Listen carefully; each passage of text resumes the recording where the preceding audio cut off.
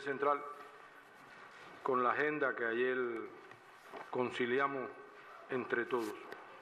Nos corresponde ahora el análisis de- del punto número 5 relacionado con los resultados alcanzados en la producción de alimentos, la implementación de la Ley de Soberanía Alimentaria y Seguridad Alimentaria y Nutricional y el ponente de este punto es el compañero José Ramón Monteagudo Ruiz, miembro del Secretariado y jefe del Departamento Agroalimentario del Comité Central. compañero primer secretario del Comité Central, miembros del Buró Político, compañeros y compañeras. El octavo Congreso del Partido aprobó el lineamiento 138 que concibe implementar el Plan Nacional de Soberanía Alimentaria y Educación Nutricional con la integración de los organismos y entidades del país en articulación con los procesos de gestión del desarrollo territorial. Aunque en la etapa se han realizado diversas acciones para el aseguramiento político a esta estratégica actividad, le corresponde al partido continuar desarrollando su labor ideológica encaminada a impregnar en cuadros, trabajadores y militantes la necesidad de asumir el desafío de producir los alimentos que necesitamos con una utilización más eficiente de los recursos disponibles.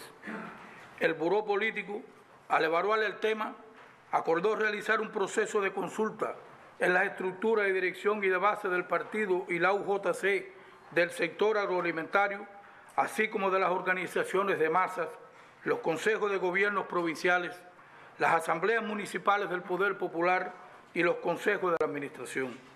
El proceso se realizó en 10.329 organizaciones de base con la participación de 96.789 militantes del partido y la UJC, junto a 25.269 trabajadores no militantes, lo que generó un total de 62.366 intervenciones. En el mismo fueron identificadas las causas que inciden en los resultados productivos, realizándose propuestas de soluciones que nos permitan avanzar en el escenario actual.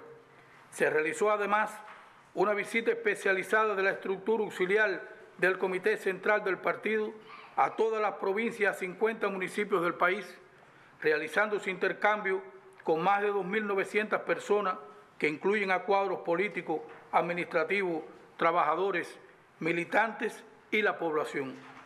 También se participó en plenos y buró de los comités provinciales y municipales del partido, donde se adoptaron acuerdos y acciones encaminados a fortalecer el sistema de control y seguimiento a la implementación de la ley SAN. Aunque se pudo apreciar que existe un sistema de trabajo para el control e impulso a la producción de alimentos, se continúan presentando deficiencias en el funcionamiento de un grupo de organizaciones de base radicadas en el sector que no siempre utilizan las vías y métodos que permitan a los núcleos del partido y la militancia ejercer una mayor influencia en la transformación oportuna de los problemas. La atención a esta actividad, que constituye un asunto de seguridad nacional, ha contado con el control, exigencia e impulso de los máximos dirigentes del partido y el gobierno, en particular del primer secretario del Comité Central, en las visitas a provincias, municipios y centros de trabajo, así como los encuentros realizados con dirigentes y productores. La Ley de Sober- de Soberanía Alimentaria y Seguridad Alimentaria y Nutricional, su reglamento y el decreto 67 tienen como objetivo promover la movilización de los recursos de cada territorio y organizar los actores de los sistemas alimentarios locales, otorgando a los municipios de la autonomía necesaria para impulsar la producción de alimentos. Su implementación se organizó en tres etapas. En la primera, los esfuerzos principales se han encaminado a la comunicación social, aunque éstas tienen un carácter permanente, pues aún existe desconocimiento por parte de diversos actores y la población. En la segunda etapa, se ha priorizado la formación de capacidades con proyección territorial y comunitaria, con la realización de talleres y la preparación de agentes dinamizadores con importante representación de mujeres y jóvenes. La tercera etapa está relacionada con el cronograma de implementación iniciado con la constitución de las comisiones en sus tres niveles de dirección. en los organismos de la Administración Central del Estado, en los consejos de gobiernos provinciales y en las asambleas municipales del Poder Popular, fueron aprobados los correspondientes planes de acciones a partir de los diagnósticos nutricionales y potencialidades de cada territorio. Uno de los elementos esenciales en la implementación de esta ley lo constituye la creación y desarrollo de los sistemas alimentarios locales y del sistema empresarial agroindustrial municipal. Hasta la fecha, se han traspasado o autorizado 111 empresas en 105 municipios y se identifican 21 programas que tributan al autoabastecimiento alimentario municipal. No obstante, en este proceso se han presentado en algunos territorios deficiencias en el tratamiento a deudas bancarias y en el traspaso de recursos. En el país existen fortalezas para el desarrollo de la producción de alimentos, aunque en los últimos años la crisis económica y el recrudecimiento del bloqueo han tenido un impacto significativo en el decrecimiento de las producciones agroalimentarias por déficit de financiamientos e insumos, combustible, fertilizantes, productos fitosanitarios, medicamentos, materias primas para la alimentación animal, maquinarias y piezas de repuestos, entre otros. Para dinamizar la producción agropecuaria en el año 2021 fueron aprobadas 63 medidas que propiciaron la eliminación de trabas y la flexibilización de procesos en beneficio de los productores agropecuarios con, una participación activa de estos en el mismo. El país dispone de 6.400.755 hectáreas de tierra agrícola. Más del 80% de la producción de alimentos proviene del sector cooperativo y campesino. Se han entregado en usufructo más de 2.500.000 hectáreas de tierra, principalmente para ganadería y cultivos varios, y se cuenta con más de 275.000 usufructuarios, no lográndose aún el impacto que se demanda en los diferentes programas de producción de alimentos. Por otra parte, se han detectado deficiencias y un número elevado de ilegalidades en la posesión, uso y explotación de la tierra que no se han enfrentado oportunamente por debilidad en la gestión estatal y empresarial del sistema de la agricultura.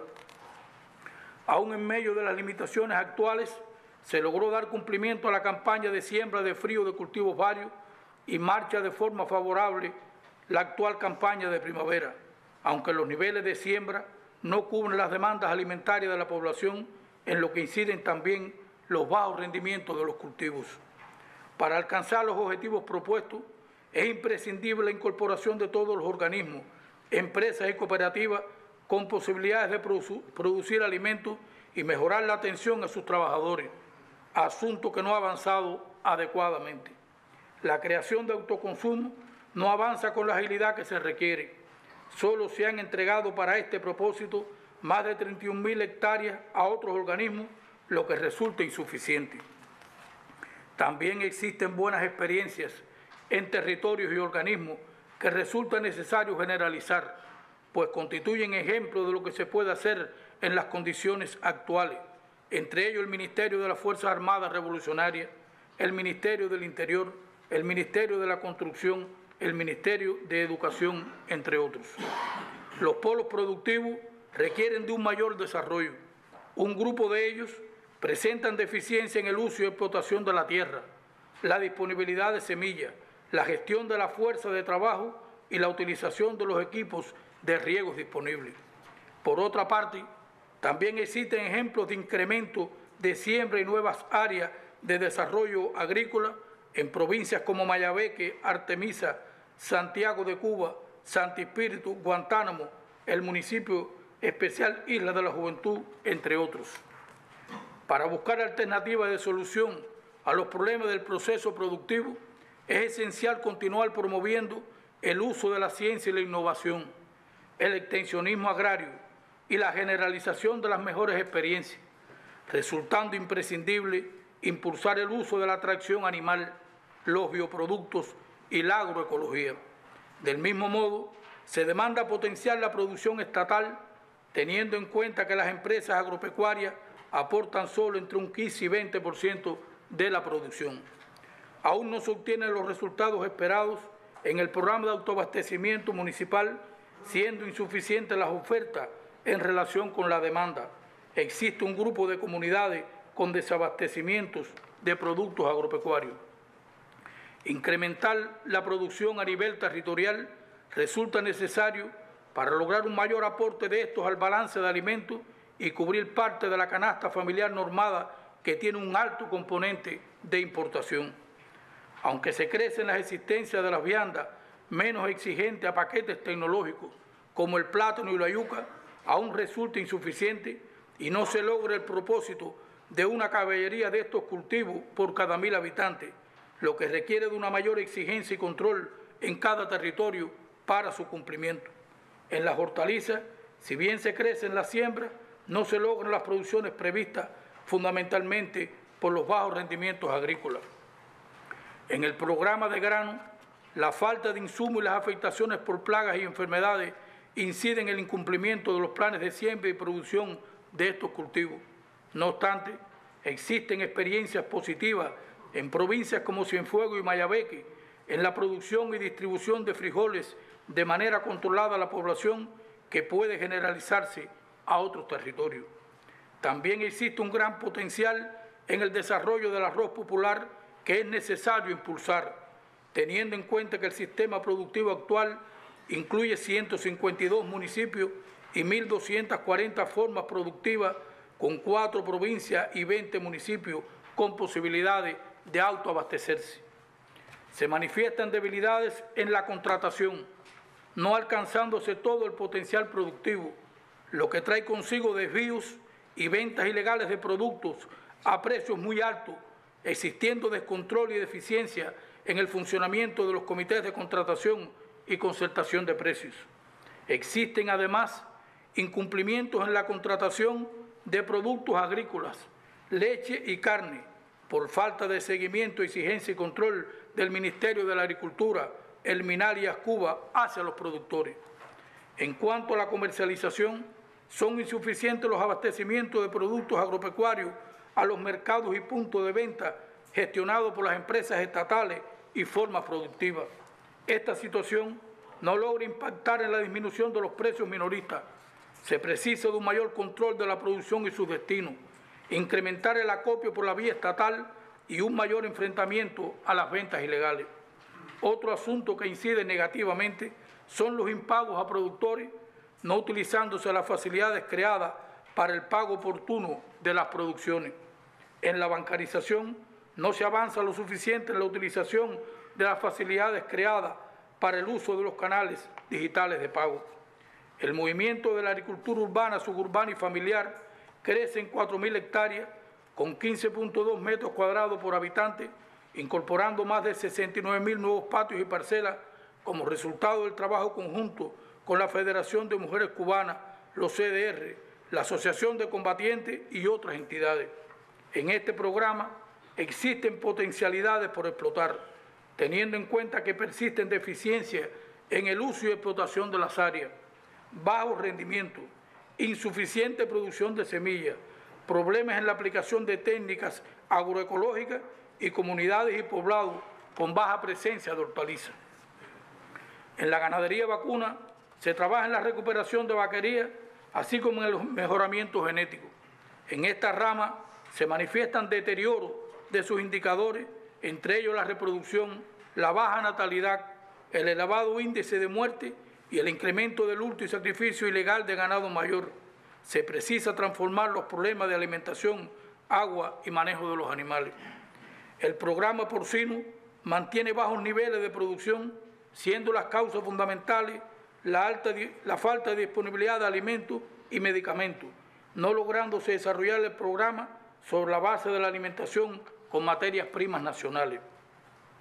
La atención al desarrollo de los programas bufalinos, ovino caprino, cunícola, la avicultura alternativa, el cerdo de capa oscura, la acuicultura y la creación de módulos pecuarios requiere de un mayor impulso a nivel territorial, lo que demanda del incremento de la producción de alimento animal que garanticen su sostenibilidad.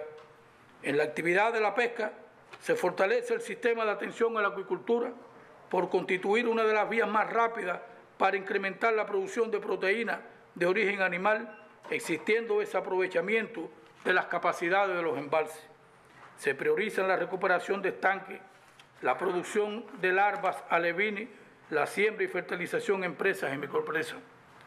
Para avanzar en la soberanía alimentaria es indispensable incrementar la producción de alimentos en sus diversos programas, potenciar el autoabastecimiento territorial, corregir las distorsiones identificadas, así como fortalecer la empresa estatal y las bases productivas.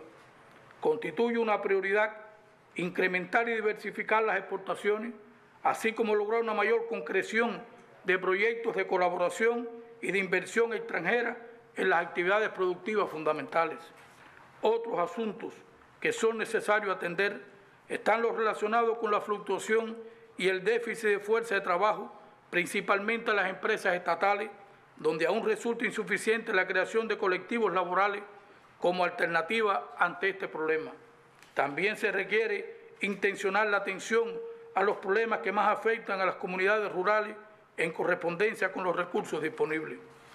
El proceso de consulta evidenció que existe desconocimiento de los contenidos de la ley, insuficiencia en el funcionamiento de las comisiones, no se logra una adecuada articulación con las estrategias de desarrollo municipal y prevalecen deficiencias en los sistemas de trabajo en provincias y municipios para el control e impulso de esta actividad. Como expresó el general de ejército Raúl Castro, hay que virarse para la tierra, hay que hacerla producir. En medio de la compleja situación económica existe compromiso y disposición de los colectivos de trabajadores, lo que se demuestra en múltiples ejemplos de productores destacados en cada territorio, lo que constituye la demostración del sí se puede. Muchas gracias.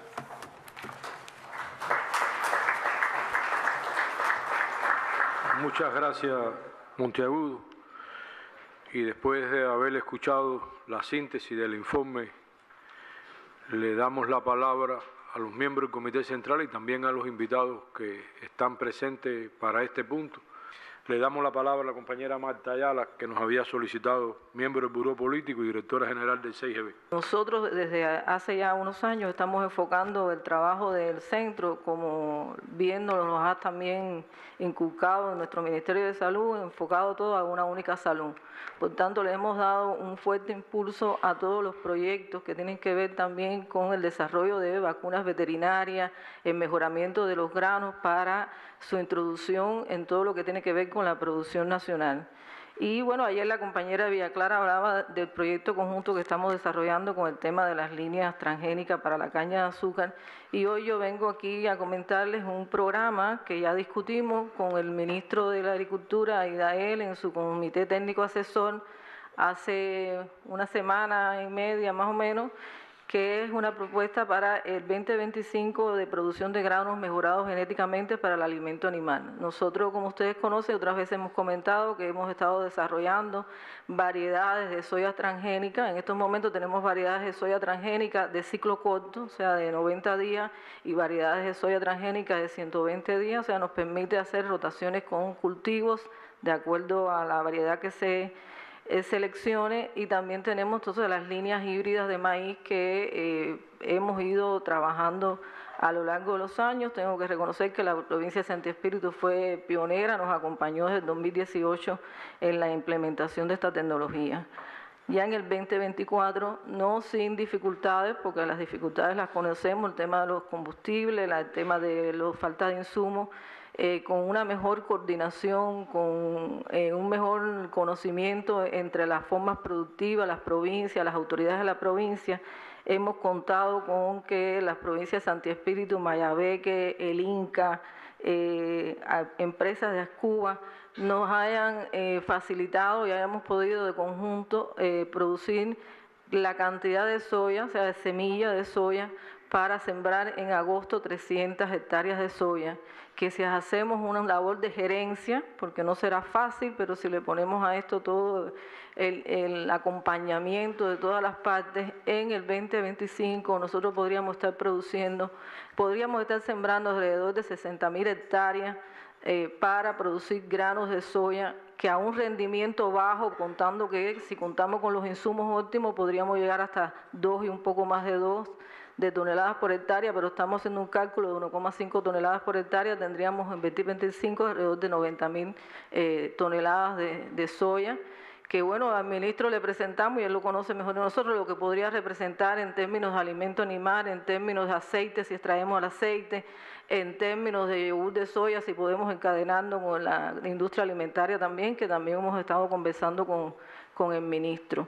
Entonces, eh, esto es un elemento que nosotros también hemos estado trabajando en todos estos años, en ver cómo logramos alguna forma de asociación, alguna empresa mixta, porque la producción de semillas sigue siendo un elemento que tenemos que fortalecer y bueno, esta es una de las contribuciones que nosotros podemos hacer también desde la ciencia y la innovación, que es una responsabilidad que nos dejó Fidel desde la inauguración del centro hace ya 38 años. Y en el tema del maíz también discutimos y presentamos en el comité asesor del, Ministerio de la Agricultura y, tenemos el compromiso del ministro que va a dirigir este proyecto directamente, que es que tenemos también las semillas básicas para producir 500, eh, eh, para, para, sembrar 500 hectáreas para grano de maíz. Eh, primero para lograr el maíz híbrido, que esta es una tecnología un poquito más, lleva un paso adicional, que es primero cruzar las líneas, obtener el maíz híbrido, que es el que tiene potencial genético y hemos calculado que si todo esto lo hacemos bien, podríamos tener para el 2025 alrededor de 100 mil toneladas de maíz grano. Que bueno, ustedes saben que estos dos cultivos, estos dos granos tienen un impacto muy importante en la alimentación animal, en la producción de pienso también para tener huevo y también para encadenarse con la producción porcina. Y yo creo que para lograr que la ley de soberanía alimentaria eh, se siga o se desarrolle, tenemos que continuar trabajando con los productores, pero no solo con los productores, sino con sus familias también, vincularlas más al proceso. Y creo que es importante que todos tratemos y entendamos qué cosa es la innovación, porque yo creo que lo que, nada, lo que nos ha venido deteniendo un poco la implementación de la ley de soberanía alimentaria es que en los territorios tenemos que seguir capacitando a las personas en cómo usar las tecnologías, qué cosas innovar cómo usar estas innovaciones, porque en materia, eh, y lo digo aquí responsablemente, creo que nuestro país en materia de investigaciones en ciencias agropecuarias ha trabajado mucho durante muchos años, hay muchos resultados que han dado, eh, que, son reales, que están ahí, que son palpables, y creo que lo que nos ha... Eh, no hemos sido capaces de implementarlo. Que en cada municipio salen más de 50 cuadros a visitar los productores. ¿Cuál es el objetivo? Bueno, conversar con el productor, estimularlo, controlar que lo que se contrató o se ratificó vaya a los mercados y también ayudar en destrabar cualquier problemática ahí que esté incidiendo en el tema de la producción de alimentos. Nosotros en junio logramos visitar 5.581 productores, contratar 2.890 toneladas de comida que no estaban contratadas, además de controlar las que ya estaban contratadas y unos 64.000 litros de leche. Estas visitas terminan con un resumen semanal de la producción de alimentos en el municipio, el cual lo presiden los miembros del Buró Provincial del Partido, los coordinadores del gobierno y otro grupo de cuadros principales del sistema de la, de agricultura en cada uno de los territorios. Nosotros los sábados estamos iniciando con una sesión de extensionismo agrícola y de transmisión de buenas prácticas. Siempre lo hacemos en una empresa diferente, en un municipio diferente.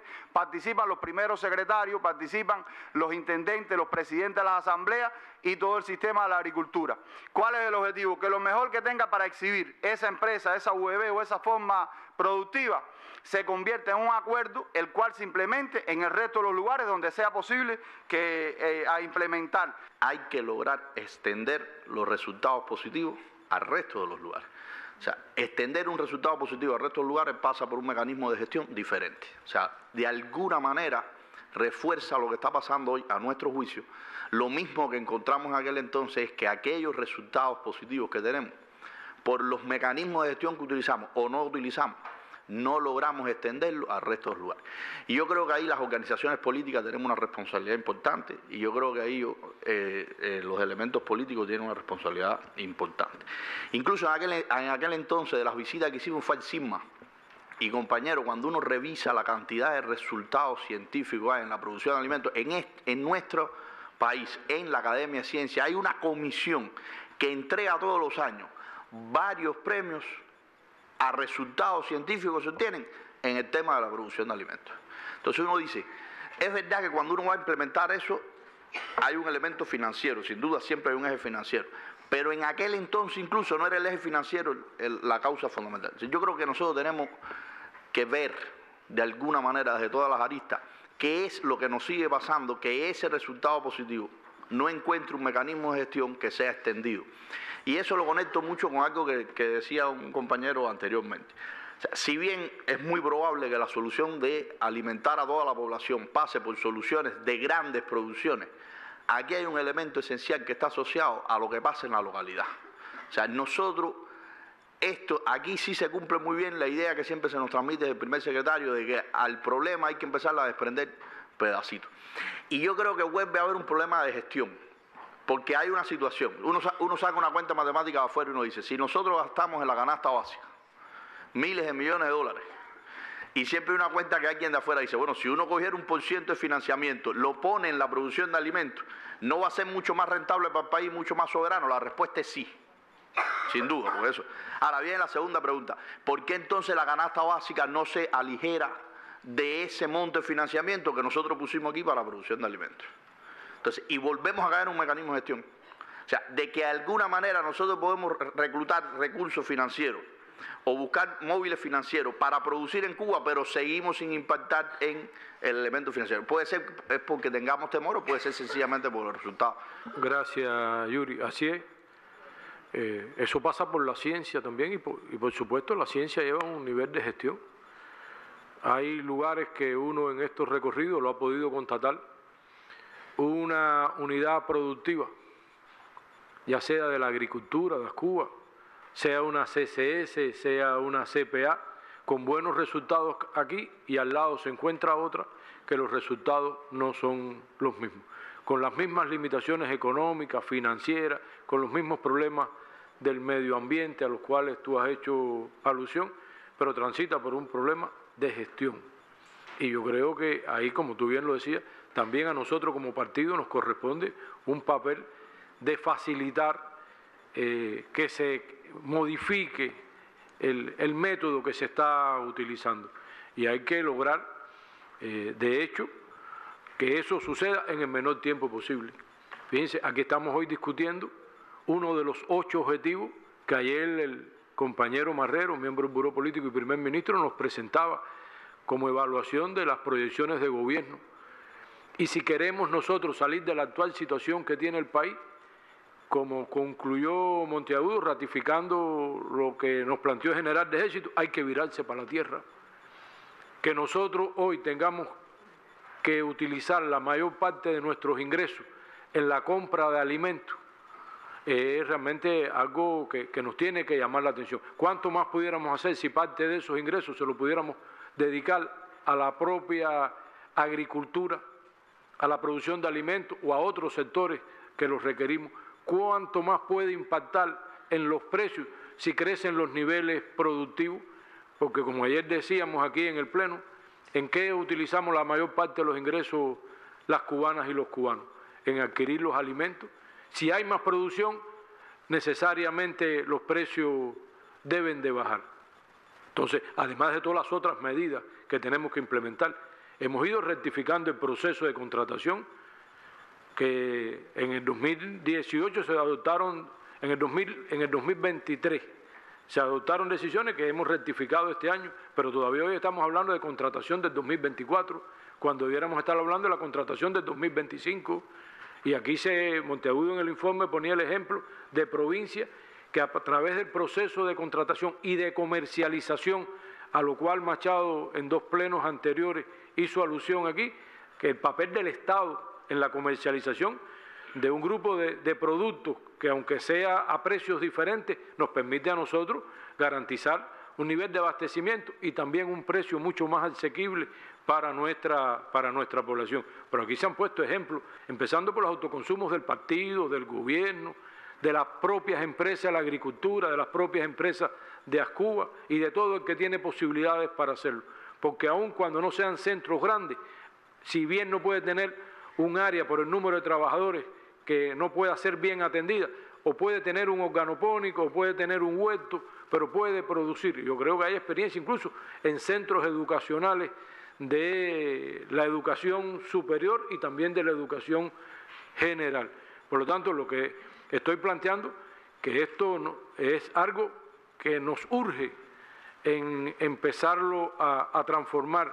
El compañero Broche hablaba cuando se refería a las proyecciones de gobierno y a lo que está esperando el pueblo. Bueno, yo creo que aquí esta es una tarea muy concreta que desde el partido, sin suplantar al gobierno, sin suplantar a la agricultura, sin suplantar al Minal, sin suplantar a Cuba, ni a la Asociación Nacional de Agricultores Pequeños, nos corresponde también exigir que cada cual haga lo que le toca. Y yo creo que hay ejemplos que cuando movilizamos al pueblo en cambios de labor, en trabajos que realmente sean verdaderamente productivos, con los que necesitamos para cada una de las labores, hay un nivel de, de respuesta. Y hay ejemplos a lo largo y ancho, pero nosotros tenemos una reserva grande desde el punto de vista del autoabastecimiento que hay que lograr. Hay un grupo de productos que no debiéramos mandárselo desde el balance nacional y debiera ser un balance local que se puede lograr. Entonces yo creo que ahí nosotros tendremos que seguir revisando cuánto más podemos hacer en este segundo semestre a partir de la propia campaña de primavera en la que nos encontramos. Por ejemplo, no debiéramos tener ninguna máquina de riego que no tuviera un esquema de siembra y que no estuviera bien atendida, porque hablamos de rendimiento y es verdad que no tenemos paquete tecnológico, pero se hablaba de la agroecología eh, Alexander hablaba de la necesidad de utilizar la agroecología. El primer secretario y yo visitamos unos productores de una CSS en Yara, en Granma. Más de mil hectáreas que han sembrado de arroz, eh, que eran áreas no, no bien atendidas. Y tiene un estimado de cuatro toneladas por hectárea. El primer secretario sacaba una cuenta de cuántos productores nosotros necesitamos como eso para autoabastecernos de arroz. Pero en Camagüey hay buenas experiencias también en la producción de arroz, hay buenas experiencias con los frijoles, en fin, yo creo que de lo que se trata, como bien tú decías, es que todas estas buenas experiencias las acabemos de generalizar utilizando el método que nos permita concretar eso y que no lo dejemos en un llamado solamente, sino que veamos qué tenemos que resolver en ese sentido. Y yo creo que hoy estamos en mejores condiciones, porque la mayor parte de las producciones se concentra en el sector cooperativo y campesino. Y se tomó la decisión de una nueva estructura para fortalecer esas organizaciones de base, donde teníamos una estructura de la ANA, que era una organización para el aseguramiento político, y teníamos una presidencia con una asamblea de la cooperativa. Bueno, ya es una sola presidencia que se tiene que ocupar de lo político, de lo productivo, de lo económico, de la gestión que hay que hacer de, esa eh, forma socialista de atender los campesinos y los productores. Y yo creo que Félix ayer en su intervención decía que nos faltaban 21 por fortalecer, pero tiene que concretarse eso y tiene que haber un compromiso también de todas estas formas productivas con el contrato, con el acopio, con la comercialización, que han sido debilidades que tenemos. Y se hacía alusión aquí también a la producción de carne y de leche yo creo que hay, eh, y ayer en la rendición de cuentas del Buró Político decíamos el análisis que hicimos en, el seno de, primero del secretariado y después del Buró Político, las deficiencias que tenemos con la genética, con el manejo de la ganadería, con la base alimentaria. Entonces, si nosotros aquí no discutimos también la base alimentaria de la ganadería, del programa porcino, del programa avícola, y seguimos pensando única y exclusivamente en la importación de pienso, no vamos a resolver definitivamente este problema. Hay buenas experiencias también con pequeñas plantas de producción de pienso, tanto seco como líquido. Yo creo que también son de las cosas que tendremos que seguir generalizando. Me había solicitado ahorita la palabra la primera secretaria de Santi Espíritu y el primer secretario de Oquín. Sí, buenos días. Santi Espíritu en 26. Eh, en el análisis que se realizaba en la provincia quedaba bien claro que el tema de la producción de alimentos, hoy respaldado en una ley, constituye una responsabilidad de cada uno de los cuadros y que tenemos que tener la capacidad de generar la conciencia para lograr con ese, ese compromiso. A partir de que si hoy tenemos una ley, contamos con todas las medidas que se aprobaron para fortalecer la empresa estatal socialista, para dinamizar y fortalecer la producción y la comercialización de alimentos, pues no nos queda de otro de que sea responsable y actuar consecuentemente con este encargo que tenemos. Hoy nuestra provincia también hasta la fecha eh, cumple y sobrecumple todos los planes previstos en cuanto al plan técnico hasta la fecha y se sobrecumple un grupo de indicadores. Y con los compromisos y las motivaciones que tenemos para el 26 de julio, tenemos eh, la tarea de concluir para el 26 de julio un sobrecumplimiento en 5.000 hectáreas de cultivos varios sobre el plan que había previsto aprobado para la etapa. Un renglón estratégico que hemos estado desarrollando en la provincia es la recuperación de la ganadería, atendiendo a que ha sido un sector que se ha ido deprimiendo, una actividad productiva que se fue deprimiendo. Nosotros, a partir de la estrategia en el mejoramiento de las condiciones de la atención de la ganadería, ya nosotros en el mes de, abril tenemos un crecimiento de más de 1.723. Para ello nos dimos a la tarea de recuperar con las empresas agropecuarias, sobre todo como abanderada de este programa de su recuperación de todas sus instalaciones y darle un carácter estatal a la atención de la ganadería, porque una de las insuficiencias nuestras es que habíamos descansado toda la ganadería en el sector privado y nosotros tenemos que darle una mayor fortaleza al sector estatal. Nosotros tenemos una provincia de 1.022.000 habitantes. La, la complejidad y la eh, dinámica que lleva a alimentar a una provincia con esa extensión, además con las características propias, eh, obliga no solamente a una conciencia popular del proceso, sino también a una innovación incluso en la gestión de esa producción de alimentos. A que esa gran masa de tierra que, es alta en el territorio sea la utilización de la ciencia para poderle sacar mayor fruto a la propia tierra. El otro elemento que quedó también claro fue el ajuste del sistema de trabajo que pueda eh, lograr sacarle mayor producción y también una mayor movilización de la población en función de, y de las empresas en función de tener una mayor producción. Eh, fue decisivo para el territorio no solo hablar del plan que se tenía eh, para la producción agropecuaria, sino la necesidad. Nosotros en la evaluación que realizamos, el, territorio tenía una organización o tiene una organización de sembrar para la etapa de primavera 30.000 hectáreas. Sin embargo, 30.000 hectáreas no es lo que necesita una, producción de, una población de 1.022.000 habitantes. En una primera instancia era necesaria llevarlo a 45.000 y por lo menos proponernos hacerlo. Y en esa eh, intención de alcanzar esa eh, propuesta a partir de la necesidad, ya eso ya moviliza y eso nos obliga a trabajar todavía con mayor intensidad. Por lo tanto, fue decisivo eh, buscar más áreas de tierra cultivable que pudiéramos sembrar en este, en este periodo. Hay otro elemento que hemos, que hemos tratado de, bueno, que se ha intercambiado entre todos en los propios encuentros y que, puedan, y que han ayudado al trabajo y es el uso de las buenas prácticas que, hemos, que se ha tenido en el territorio en algún momento determinado el rescate de los polos productivos. Fue histórico para Holguín el uso de la división Mambis. Hay un movimiento que, hemos, que se ha logrado eh, emprender incluso en esos polos científicos, en esos polos productivos, seis polos en los cuales eh, se ha hecho énfasis en ponerlo a producir para la provincia, pero también eh, cuáles son los cuadros que tenemos al frente de esos lugares, la estructura de producción, la siembra sistemática en ese territorio.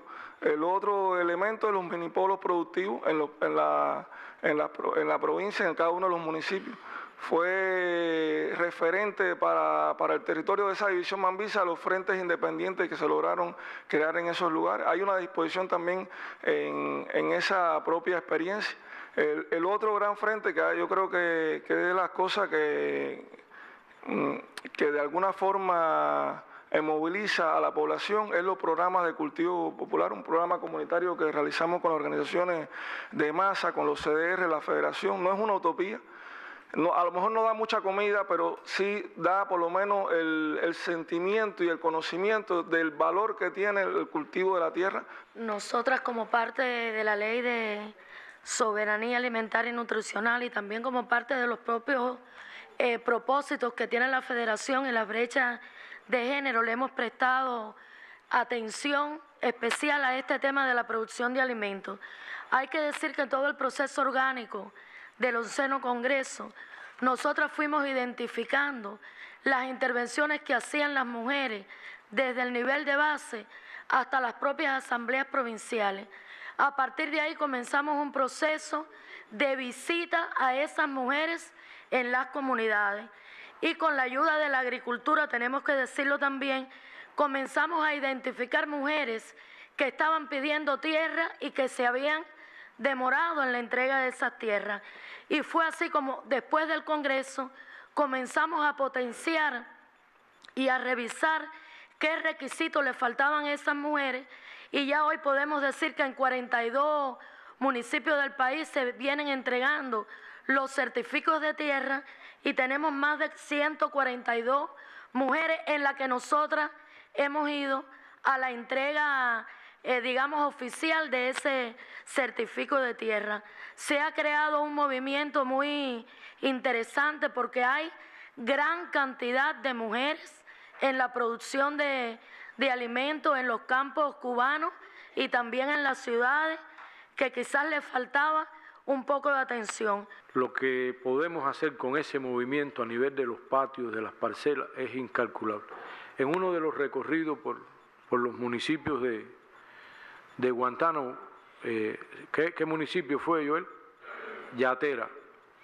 En Yatera, prácticamente en todos los patios hay plantaciones de plátano, hay plantaciones de diferentes cultivos que habla de un nivel de autoabastecimiento eh, familiar. Por el contrario, se han visitado otros municipios que uno camina prácticamente el territorio y no se encuentra en un patio una mata de plátano, una mata de yuca, no se ve la cría de gallina como nosotros vimos a lo largo y ancho del país eh, hace unos años atrás. yo creo que también eh, los CDR junto a la federación han estado promoviendo Cultiva tu pedacito. Gerardo en esto ha sido un abanderado. Yo creo que hay que seguir estimulando este movimiento. Eh, y en uno de los recorridos también el primer secretario llamaba la atención de una comunidad donde se estaba reclamando que se le enviara alimentos y cuando se miraba el entorno de esa comunidad no había una sola plantación de ningún tipo de cultivo. yo creo que el movimiento popular nos tiene que llevar a que en aquellos lugares y aquellas personas que tengan condiciones también puedan eh, producir. Yo creo que producir alimentos, como se ha dicho aquí, lo anunció el compañero Monteagudo, es una cuestión de, seguridad nacional. Y de hecho, tenemos que convertirla en una prioridad. Pero yo creo que tendríamos que preguntarnos si desde el partido nosotros en todos los lugares hemos convertido de verdad esa tarea en una prioridad. Y uno se da cuenta cuando en el informe se anuncia un grupo de deficiencias que hemos permitido y que hemos tolerado y que nos ha faltado mucha más exigencia, mucho más rigor y mucha más vinculación con el eslabón fundamental de la cadena productiva que son los productores. Y yo creo que ahí nosotros tenemos reservas infinitas que tenemos que seguir explotando.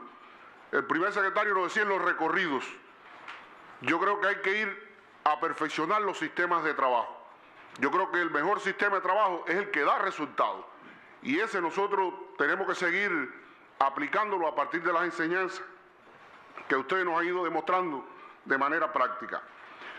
Yo creo que tenemos que ir también a, lograr, si queremos de verdad convertirlo en una prioridad, ir mucho más al funcionamiento integral del partido, a lo que le corresponde al partido, digo desde la estructura de base, el municipio y la propia, y la propia provincia. Y yo creo que en esta prioridad que decide, yo creo que tenemos que poner más el partido y la militancia a combatir. Tenemos que sacudirla mucho más, tenemos que estremecerla mucho más. Y en ese camino nosotros andamos en, la tuna, yo creo que eh, sin el ánimo de ningún triunfalismo, ni mucho menos, porque todavía estamos muy lejos de lo que tenemos que hacer. Y todavía tenemos muchísimas potencialidades y tenemos muchísimas reservas en los planes, en los hombres y en el control. Y en esa dirección yo creo que el partido tiene que también enfocar los análisis que nosotros tenemos que, que realizar. Yo creo que tenemos que ir más al camino que nos ha estado indicando el primer secretario y es en rescatar y fortalecer el papel de la empresa estatal socialista. Yo creo que el partido tiene la responsabilidad que esa empresa integral que están haciendo hoy en los municipios no nazca torcida, que nazca como tiene que hacer, que funcione bien, que el cuadro que la conduzca sea el mejor cuadro. Eh, bueno, suscribo lo que dijo el compañero Walter, que me antecedió con el papel del partido y el papel de rigor. Todo lo que hay aquí y todo lo que hemos discutido aquí, si un núcleo del partido, si una estructura del partido no es capaz de seguirlo, no vamos a darle resultado. Incluido el papel, la introducción de la innovación de la ciencia en, una, en una entidad. Eso si el núcleo no lo sigue y no juega su rol, no es posible. Yo quiero hablar de un tema también, porque estamos hablando de producción de alimentos. Y yo creo que hay que darle una visión integral al tema de la producción de alimentos. Y el tema que voy a hablar tiene que ver también con la fuerza de trabajo. Hoy la agricultura y, el campo cubano se está, despoblando. Lo hemos visto en varios recorridos que hemos hecho por, por, Guantánamo, hemos encontrado comunidades que, que, están despobladas totalmente, no, no, no habita nadie, no vive nadie en esas comunidades. Y son comunidades con áreas de riego, con áreas fértiles, con áreas de producción. Y yo creo que hay que dar una mirada, yo sé que hay una mirada importante a la ruralidad, yo sé que hay una mirada importante al campo, pero yo creo que nosotros estamos hablando de producir alimentos. Y yo creo que tenemos que producir y crear productores empoderados en el campo capaces de producir alimentos, cada día más. Porque el problema no está en, producir alimentos en una etapa, sino que ese productor, que ese campesino, que ese trabajador se quede en el campo, pues viva en el campo, permita en el campo y se empodere cada día más y generaciones tras generaciones pueda quedarse en el campo para producir alimentos, que es lo que necesita el país. Por eso yo creo que hay que dar una mirada también al tema de las escuelas en el campo. La escuela no, no como escuela en el campo, sino yo recuerdo que hay política. En un momento determinado había una escuelita para un alumno, pero nos interesaba que ese cafetalero estuviera ahí, o para cinco alumnos que ese cafetalero estuviera ahí hicimos un proceso que reordenamos un proceso importante y ahora reagrupamos todo aquello y el campesino tiene que trasladarse a veces 20, 25 kilómetros para llevar un niño a una escuela, virar para atrás, ordeñar la vaca, virar para allá, recoger al niño, virarlo para atrás. Y yo creo que hay que darle una mirada totalmente integradora al problema del campo cubano, porque no solo vamos a resolver el problema eh, con polos productivos, moviendo personas, moviendo personal. Repito, hay que empoderar personas en el campo cubano, creándole condiciones mínimas a veces hay que pensar en proyectos de desarrollo locales que tengan que ver con el desarrollo de electrificar a través de paneles solares comunidades que no están electrificadas hoy. Hay que ver cómo mejoramos las condiciones de los viales en el campo hoy, que es muy difícil acceder al campo hoy y la gente pasa trabajo viviendo en el campo hoy. Y si eso no se arregla, el campesino va. Hoy el censo cubano lo demostró la vez anterior, la población cubana se concentra y se urbaniza. Y eso es, esto es una amenaza contra esto que estamos discutiendo hoy, que es el tema de la soberanía alimentaria. Lo otro es la mentalidad de productores. Tenemos que trabajar en crear una mentalidad de productores. Eso es un tema que todavía falta mucho y dista mucho.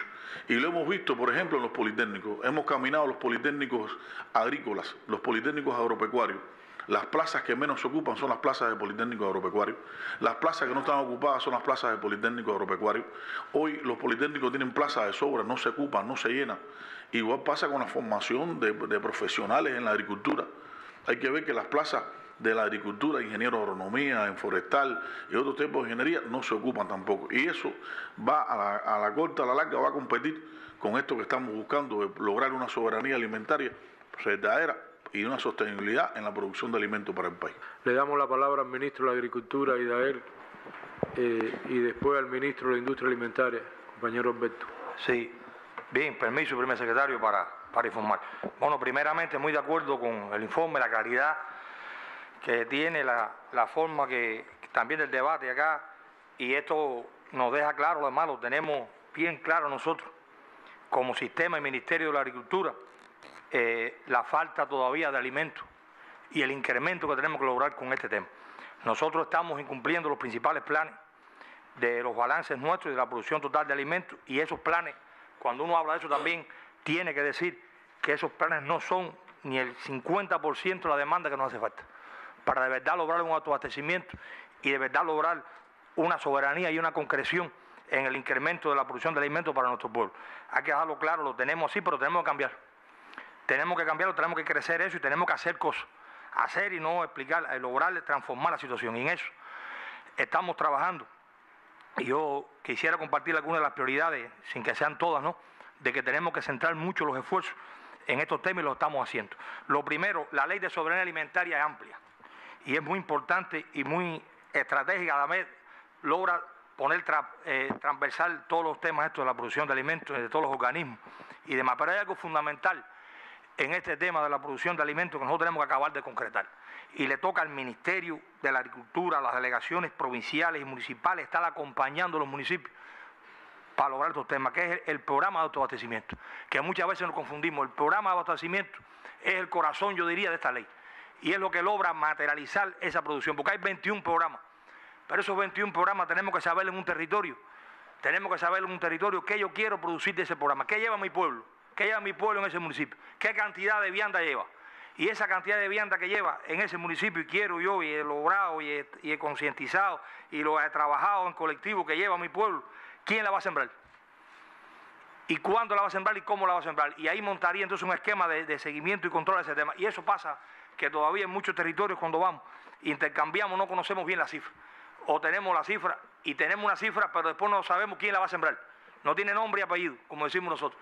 Y estos temas hay que lograrlo desde nombre, apellido, de código reo, como digo yo, cuando es una unidad jurídica, cuando es una unidad, cuando es un productor natural, llegar al final de eso. Y para eso hay que fortalecer el sistema que estamos buscando agroalimentario, el sistema local en cada territorio. Somos también de los convencidos de la filosofía del presidente, porque en las mismas condiciones las que usted ha hablado y lo que nosotros estamos se demuestra todos los días, porque en las mismas condiciones donde trabajamos funcionan diferentes las cosas en un lugar a otro y hay mejores resultados. Y eso pasa por los cuadros, no por los trabajadores. El sector de la alimentaria tiene trabajadores comprometidos en su mayoría, al lado con experiencia en producción que van. Y por lo tanto pasa por los cuadros ese factor subjetivo, donde quiera que tenemos un cuadro eh, emprendedor, donde quiera que tenemos un cuadro con, con liderazgo, donde quiera que tenemos un cuadro comprometido, empiezan a verse los resultados y empiezan a transformarse también un ambiente. Nosotros en el organismo esos problemas subjetivos pasan, primero, por no aplicar las facultades que le han dedicado al sistema empresarial, las 43 medidas. Hay centralización, hay directores de empresas que todavía no quieren ni sueltan las facultades que tienen una unidad empresarial de base o todas las posibilidades que se le están dando no se aplican favorablemente y adecuadamente los sistemas de pago ni el decreto 87 para estimular la fuerza productiva y que esa fuerza productiva puedan tener mejores eh, motivaciones para poder producir los alimentos.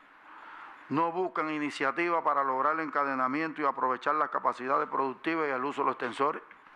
Están ahí, lo logramos en unos lugares mínimos, en excepciones y no lo convertimos en una regla no exigen lo suficiente para lograr la contratación y cuando firmamos el contrato, entonces no logramos que se cumplan. Y entonces no logramos buscar mecanismos efectivos. La empresa que logre esto que se está contratando, que se firmó, que apenas en enero firmamos un contrato de leche y carne en el propio mes de enero se empieza a incumplir. Entonces son debilidades y falta de exigencia que tenemos los cuadros y que tienen los cuadros administrativos en función de eso. Lamentablemente nosotros en ocasiones entregamos la canasta básica, los productos que tiene responsabilidad del organismo con atraso, teniendo el producto. En algunos casos pero, eh, excepcionales, pero pasa. Como estamos en la producción de yogur hoy, que tenemos el frijol de soya y no somos capaces de dar el salto para producir. Con factores subjetivos, objetivos en unos momentos, pero factores subjetivos. Está también la capacidad que tengamos de poder hacer las cosas. Tenemos mucha reserva en la actividad pesquera específicamente en la acuicultura, con resultados que estamos viendo allí, pero hay mucha reserva en la, en la pesca, que la tenemos identificada y pueden dar resultados eh, rápidamente en este, en este tema. Nos falta ordenamiento en los puestos pesqueros locales, nos falta organizar la pesca del sector no estatal, nos falta ordenar la comercialización, nos falta buscarle cómo buscamos atractivo que esas producciones lleguen a la empresa estatal socialista. Nos falta la capacidad y la iniciativa para buscar el aprovechamiento de las capacidades productivas y son factores que no tienen nada que ver con los objetivos que están primando hoy en el sector y que nosotros tenemos y estamos llamados a transformar esto. Si bien los objetivos, lograr los objetivos que nosotros aspiramos, que están muy lejos, por supuesto, de lo que nosotros tenemos que darle al pueblo cubano, si bien los factores objetivos son inmensos, son desafiantes, nosotros también estamos en condiciones de comenzar a detener el retroceso en los indicadores productivos del organismo y comenzar a dar paso, vuelvo a insistir, que no en los que aspiramos ni necesita el pueblo, pero sí detener ese retroceso que estamos. Nosotros en la descentralización, que pasa también por la soberanía alimentaria, descentralizar para buscar fortalecer los sistemas productivos locales. Y hay resultados. la producción aumenta, aumentan los salarios, aumenta la gestión, aumenta la autonomía, se integran a los sistemas productivos locales y van, y van mejorando todos sus indicadores y van aportando más los resultados del territorio. Esas 26 empresas filiales tienen mejores resultados que la empresa eh, matriz y tienen mejores resultados que cuando eran unidades empresariales de base. Le damos la palabra compañero José Luis Tapia, viceprimer ministro. Eh, compañero primer secretario del Comité Central, demás miembros del Buró Político. El próximo día 15 de julio, hace dos años, que se aprobó por la Asamblea Nacional del Poder Popular la Ley de Soberanía Alimentaria. El informe que se presenta al Pleno del Comité Central nos dice lo que se ha hecho hasta la fecha, pero sobre todas las cosas lo que nos falta por hacer. Yo creo que es un elemento importante hacer una evaluación en estos dos años de transcurrido de la aplicación de la ley, cuántas experiencias positivas en la producción de alimentos hemos alcanzado, pero creo que como estamos en el pleno del Comité Central, tenemos que razonar lo que nos falta por hacer. Y yo creo que en ese sentido podemos eh, también eh, analizar eh, los problemas que de carácter subjetivo y que en el orden también de los cuadros, de la exigencia, del control, y también de lo que le corresponde al partido, la motivación, impulso a las tareas nos corresponde. En primer lugar, quiero referirme a que la ley de soberanía alimentaria no es solo una responsabilidad del Ministerio de Agricultura. Yo creo que en este análisis que se ha hecho, yo creo que lo más importante es a partir de lo que se ha planteado aquí, qué más vamos a hacer en lo adelante y qué le corresponde a cada uno de nosotros en transformar la situación que tenemos. Y si bien podemos decir que se avanza, los resultados que se alcanzan no son lo que espera nuestro pueblo. Y hay responsabilidades desde la ciencia y la innovación, que es un elemento que se ha discutido aquí bastante, de introducir los adelantos de la ciencia y la innovación. Si tenemos 22 centros científicos, si tenemos un potencial científico, ya se aprobó recientemente por el Comité Ejecutivo del Consejo de Ministros una política de extensionismo agrario, una política de agroecología, yo creo que tenemos potencial de decir, ¿por qué no introducimos todos esos adelantos de la ciencia y la técnica para, con ese extensionismo, llevar a todos los productores las buenas prácticas? Porque la pregunta es, ¿por qué tenemos buenos productores con experiencia y resultados y tenemos un número importante que no logra? Bueno, y tenemos todo ese potencial, tenemos las universidades, tenemos nuestros politécnicos, entonces tenemos todos los cuadros. Eso es un razonamiento que tenemos que ahora, eh, a partir de este pleno, el comité central, decir, ¿qué nos falta por hacer y en qué tiempo lo vamos a lograr. Porque lo más importante está en satisfacer las necesidades de la población. En esos organismos eh, yo creo que es importante eh, todo lo que está asociado a la sustitución de importaciones que tenemos que lograr para avanzar en, los diferentes programas. Por lo tanto, yo creo que cada uno de los ministros que tienen esta responsabilidad, tenemos que en lo adelante hacer una evaluación de hasta dónde hemos llegado. Segundo, elemento importante, la ley de soberanía alimentaria se aprueba en las asambleas municipales del Pueblo Popular, donde están presentes todos los delegados del Pueblo Popular y todos los factores del municipio. Y esos planes de la soberanía alimentaria se corresponden con las estrategias de desarrollo económico y social de cada municipio y se corresponden con eh, los planes de autoabastecimiento municipal. Preguntémonos, ¿hasta dónde nuestras asambleas, nuestros consejos de la administración estamos llevando a cabo la instrumentación de la ley, porque lo que está planteado es la soberanía alimentaria a nivel local. Y yo creo que juega un papel importante cómo discutimos estos temas con la profundidad que se requiere. Y esto tenemos que verlo como elemento principal de soberanía alimentaria, como se ha dicho, que es la capacidad que tiene la nación para producir alimentos, llevado a las provincias y llevado a los municipios. Y un elemento importante es la sustitución de importaciones. Si analizamos estos dos temas de la producción de alimentos en los dos últimos años y la sustitución de importaciones, hay que decir que en este sentido no hemos avanzado. No hemos disminuido la capacidad importadora del país y eh, no hemos logrado satisfacer la necesidad de la población. Por lo tanto, el análisis en lo adelante tiene que estar en correspondencia que si bien hay elementos positivos, lo que nos falta por hacer es mucho más que lo que hemos hecho. El gobierno ha aprobado un grupo importante de medidas para apoyar la producción agropecuaria en el país. Y yo creo que eso es importante también, ver cada una de esas medidas, qué impacto tiene. Y digo porque tenemos que evaluar a nivel de territorio, a nivel de municipio. Se aprobó la política para la ruralidad y el plan Tuquino. Hay 54 municipios del plan Tuquino y la política para la ruralidad, que se incorporaron en los planes de la economía del 2024. Aquí se han hecho eh, valoraciones y la pregunta que ya tenemos es, ¿cuánto le hemos puesto del presupuesto del Estado a las comunidades nuestras? ¿Cuántas comunidades hemos reparado? ¿Cuántas viviendas hemos hecho en las comunidades rurales? ¿Cuántos caminos hemos recuperado? Entonces, para cada uno de estos análisis tenemos una valoración en la cual tenemos que profundizar en este sentido.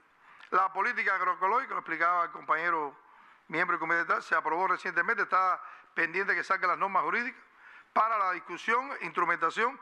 Ahí tenemos un elemento importante para introducir a nivel de municipio las buenas prácticas. La política de extensionismo agrario, aprobada por el Comité Ejecutivo del Consejo de Ministros y también en fase de implementación. Se aprobó el decreto 76 para el perfeccionamiento de las cooperativas en Cuba. Y también se aprobó una política para eh, renegociar todas las deudas de las cooperativas y se hizo un trabajo integral con todos los organismos en este sentido.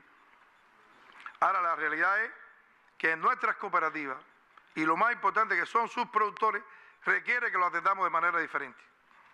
Hay problemas de atención a las cooperativas nuestras. No podemos hablar de producción si lo más importante son los productores y las cooperativas. El 85% de nuestras producciones están ahí.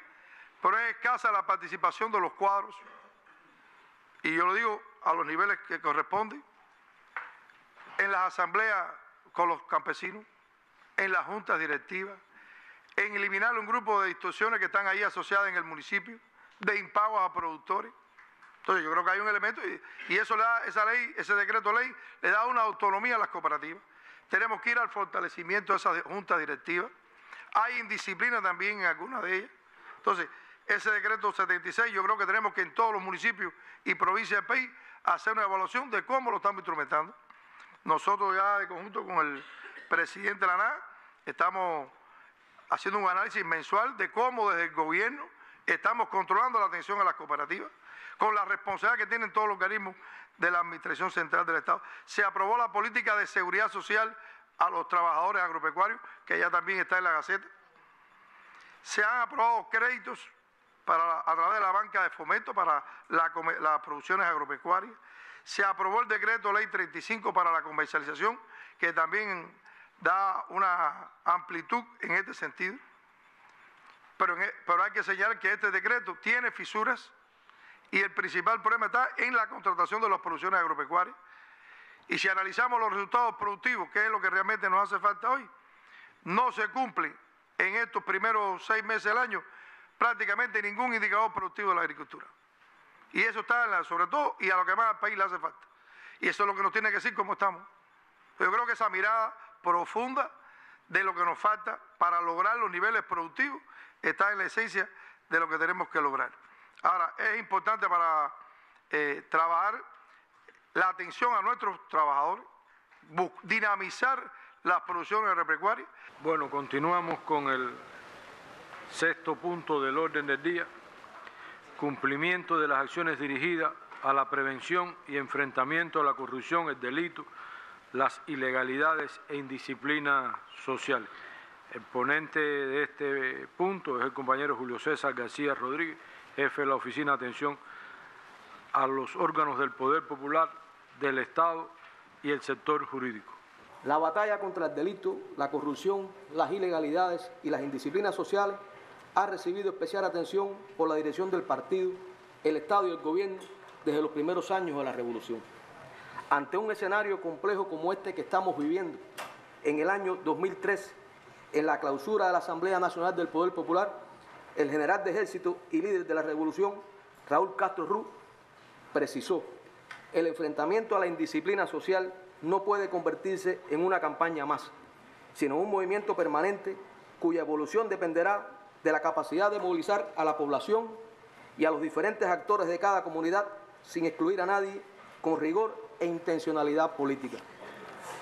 El octavo Congreso de nuestro partido, celebrado en abril de 2021, ratificó en sus debates y documentos aprobados la prioridad hacia esta dirección estratégica, que se resume en fortalecer el papel del partido con su participación, apoyo y control en las acciones de prevención y enfrentamiento a todos los fenómenos y manifestaciones que constituyan una amenaza para la seguridad nacional, incluyendo la corrupción, la droga, el delito, las ilegalidades y las indisciplinas sociales.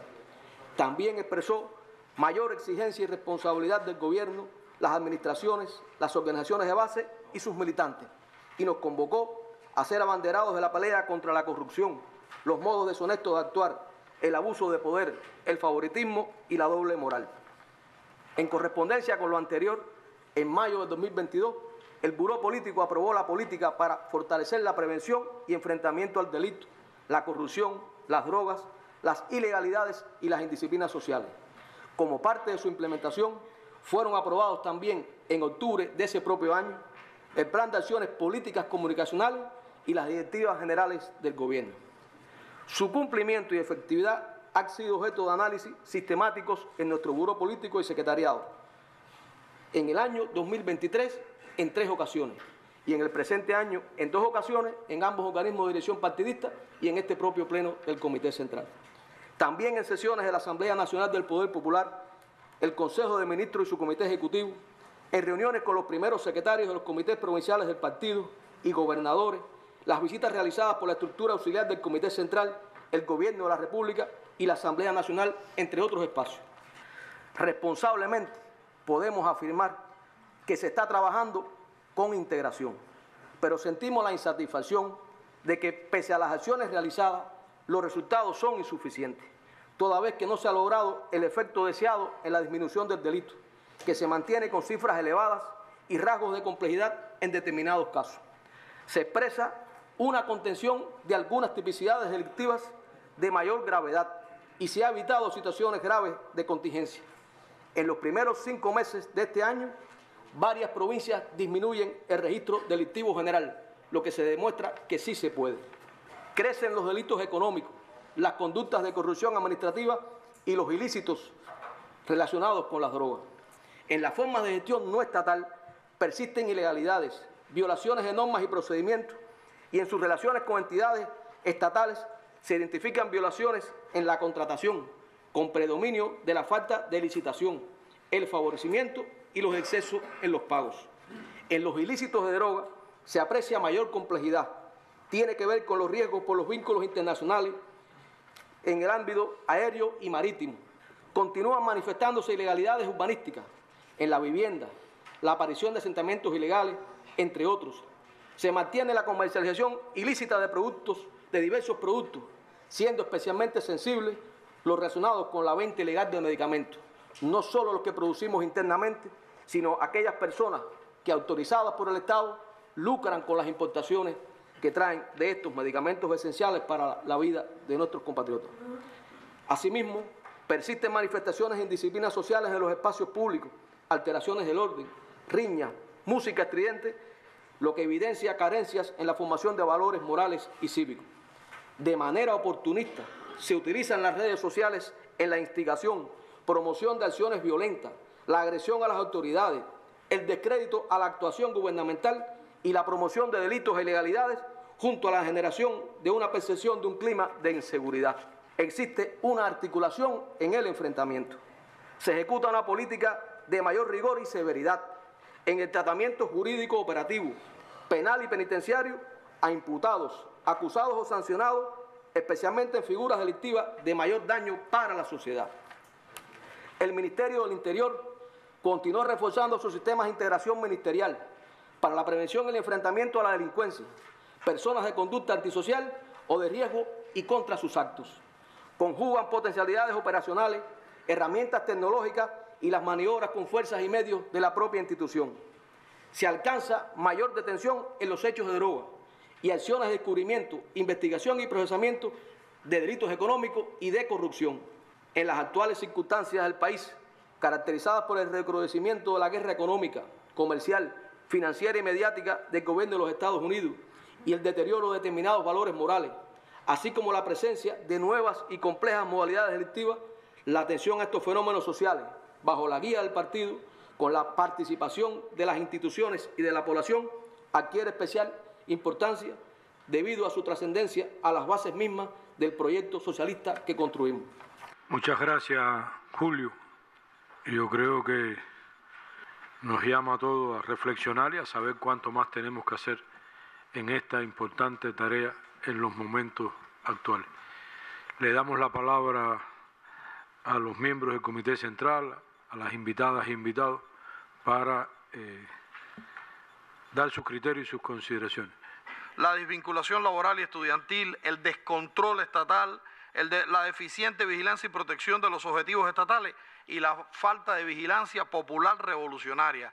Esos han sido elementos que hemos estado constantemente una y otra vez en discusión viendo la responsabilidad y el papel que puede jugar cada organización y sobre todo la militancia del partido. Allí, como ha dicho el comandante Ramiro varias veces, en cada una de nuestras provincias, allí donde vivimos todos, en la cuadra, donde hay un militante del partido, un militante de la juventud, donde hay dirigentes administrativos, donde necesariamente tiene que haber un mayor combate. Si estamos en un momento de guerra económica, donde estamos tomando y adoptando medidas y estrategias que tienen que eh, revertir toda la situación de la economía, indiscutiblemente también de la manera en que enfrentemos entre todos con unidad, con inteligencia, eh, con la capacidad de evaluar en cada lugar cuáles son los problemas y adoptar las medidas. También el enfrentamiento al delito en situaciones como estas lleva eh, precisiones y rigor en las políticas de enfrentamiento. Y nosotros desde el año 2022 eh, realizamos estas precisiones de política penal de rigor política penal y penitenciaria también, en aquellos hechos más graves, en los hechos que más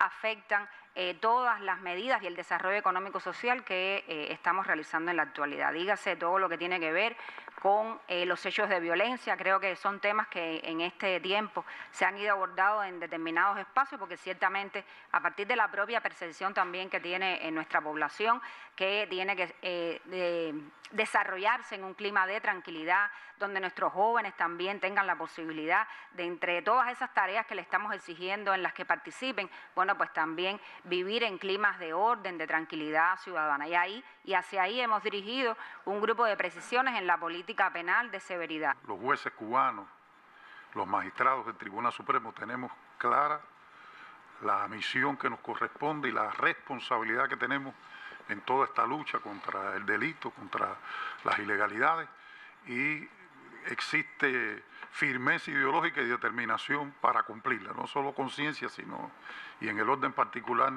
eh, lo hacemos. Retirar quizás la idea, porque en ocasiones se ha manejado por algún segmento de la población, etcétera, de que las leyes vigentes no permiten un adecuado enfrentamiento a los delitos, que eso no se corresponde con la realidad. Las leyes cubanas, incluso renovadas y fortalecidas eh, hace relativamente pocos años, dan todas las herramientas y todos los instrumentos necesarios para un enfrentamiento consecuente al delito.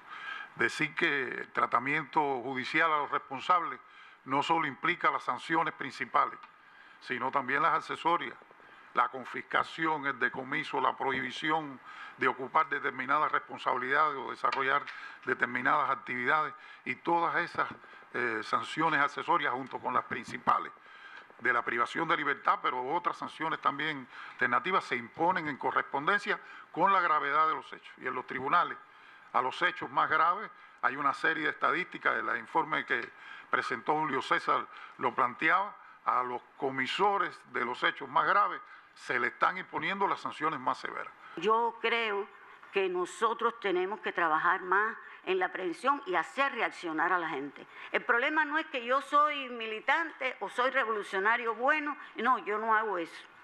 Pero me es indiferente lo que pase a mi alrededor. Y yo creo que hay que tocar las puertas y nos tiene que doler, nos tiene que sentir que pasen violaciones, que se cometan robos, que al final dañan mucho al pueblo y a la revolución. Entonces, ¿cómo yo voy a decir que yo soy revolucionaria? Si yo no estoy combatiendo, si yo estoy permitiendo que esa nueva forma que, decimos corrupción todo, pero eso es contrarrevolución. Lo que tenemos en algunos lugares es contrarrevolución. Le hacen mucho daño a la revolución. Yo creo que hoy hay que entender que el respeto a nuestra legalidad y a la disciplina es una expresión de patriotismo. Profunda y, amplia intervención con un razonamiento que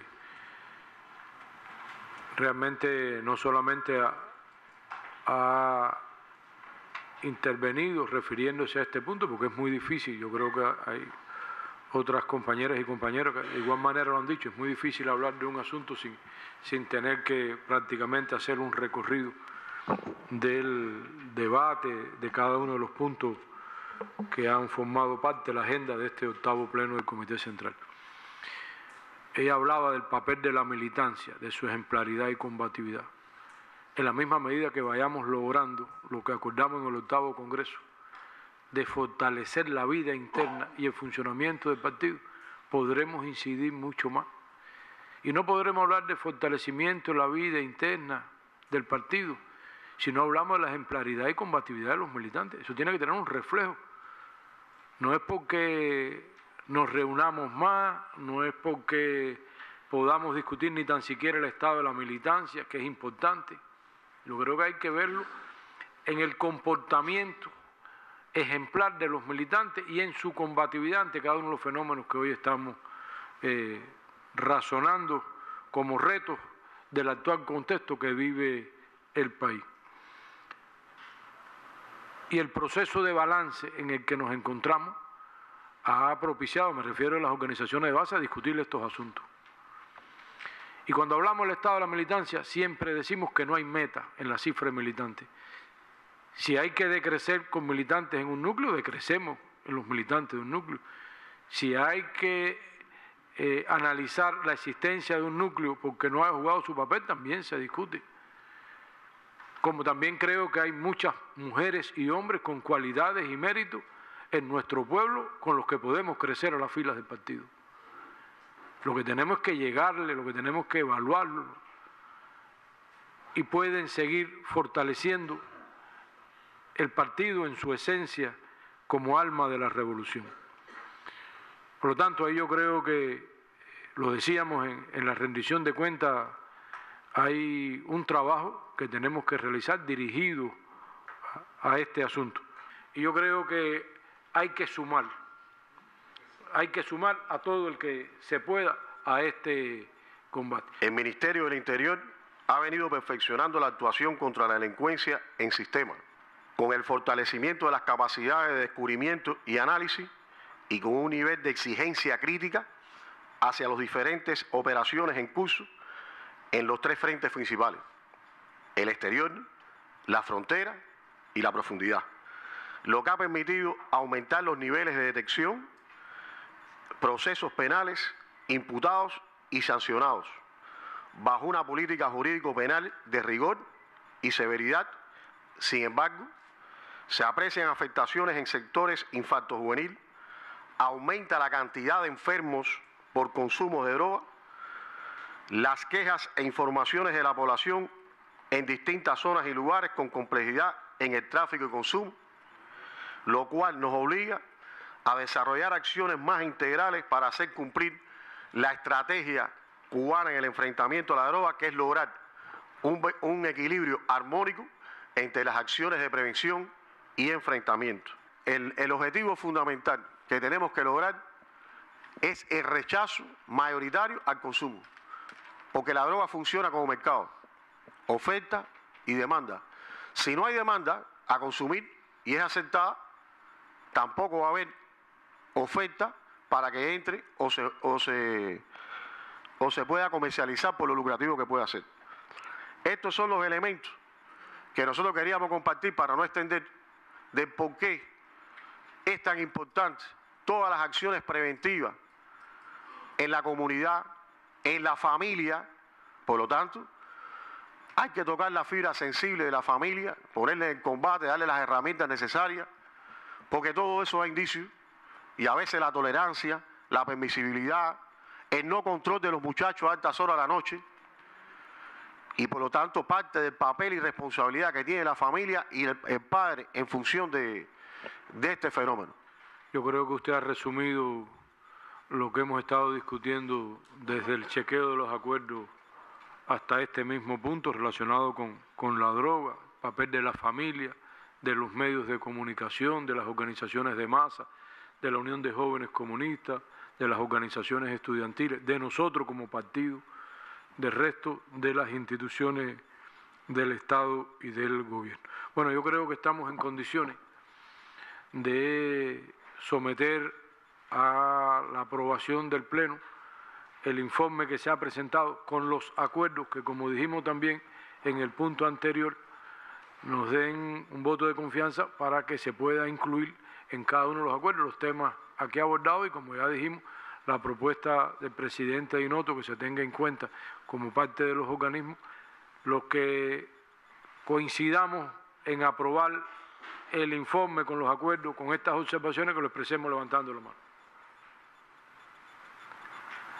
En contra, se abstiene, bueno, se aprueba el informe con la propuesta de acuerdo.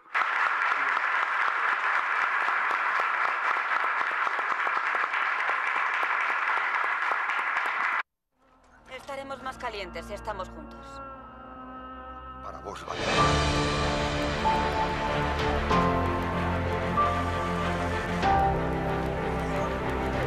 Las mujeres y los hombres del Ministerio del Interior son gente que hacen por la patria.